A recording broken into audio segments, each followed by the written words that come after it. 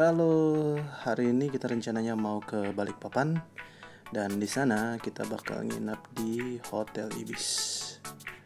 Uh, mari kita lihat nanti gimana bentuk kamarnya dan reviewnya.